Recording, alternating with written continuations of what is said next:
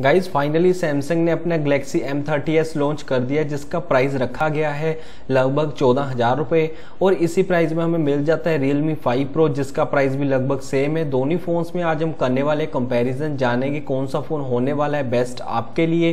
अगर हम सबसे पहले बात कर ले दोनों फोन्स के डिस्प्ले की तो हमें एम थर्टी एस में 6.4 पॉइंट फोर इंचज की और वहीं पर फाइव प्रो में हमें 6.3 इंचज की एक डिस्प्ले मिल जाती है। यहीं पर एम थर्टी एस में हमें full H D plus display मिल जाती है। सेम हमें फाइव प्रो में देखने को मिल जाती है। बट अगर हम बात कर ले यहाँ पर हमें एम थर्टी एस में सुपर एमोल्ड डिस्प्ले देखने को मिल जाती है बट यहाँ पर 5 प्रो में हमें एक आईपीएस एलसीडी देखने को मिल जाती है। एम थर्टी एस का एक्सपेक्ट रेशियो भी ज़्यादा है 20.9 रेशियो है। वहीं पर रियलमी 5 प्रो में हमें केवल 19.5.9 के एक्सपेक्ट रेशियो देखने को मिल जाते हैं।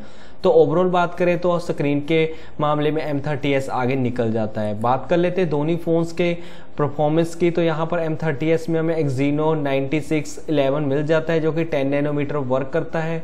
वहीं पर फाइव प्रो में हमें स्नैपड्रैगन सेवन ट्वेल्व मिल जाता है सेम टेन नैनोमीटर वो वर्क करता है। ग्राफिक्स में हमें एम थर्टी एस में Mali G seventy two M P three देखने को मिल जाते हैं। वहीं पर रियलमी फाइव प्रो में हमें एंड्रीनो के सिक्स वन सिक्स लेटेस्ट देखने को मिल जाते हैं। बात कर लेते हैं ऑपरेटिंग सिस्टम की तो यहाँ पर एम थर्टी एस में हमें नाइन पॉइंट ज़ीरो पाई देखने को मिल जाते हैं, साथ में वन यू आई की स्पोर्ट वहीं पर हमें रियलमी फाइव प्रो में हमें 10.0 देखने को मिल जाएगा। अपडेट में साथ में हमें कलर ओ एस सिक्स देखने को मिल जाता है। नो no डाउट अगर हम परफॉर्मेंस की बात करें गेमिंग की बात करें तो Realme 5 Pro काफ़ी आगे निकल जाता है कंपैरिजन टू M30s से।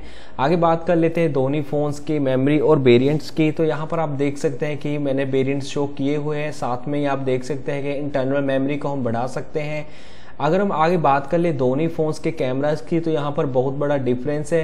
एम में हमें बैक में ट्रिपल रियर कैमरा देखने को मिल जाता है। 48 प्लस 8 प्लस 5 मेगापिक्सल का। फ्रंट में हमें 16 मेगापिक्सल का एक यू शॉप यू शेप का कैमरा देखने को मिल जाता है। वहीं पर Realme 5 Pro में हमें quad rear camera 48 plus 8 plus 2 plus 2 megapixel का देखने को मिल जाता है।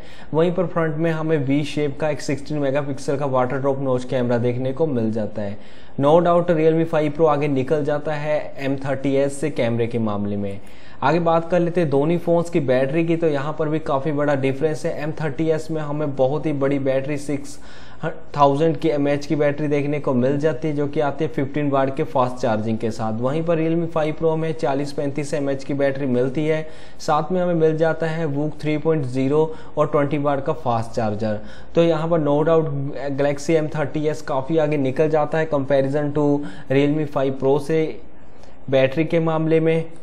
तो अगर आपको गाइस वीडियो अच्छी लगती है तो प्लीज़ इस वीडियो को लाइक कर दीजिए और इस चैनल को सब्सक्राइब कर लीजिए। Thank you guys for watching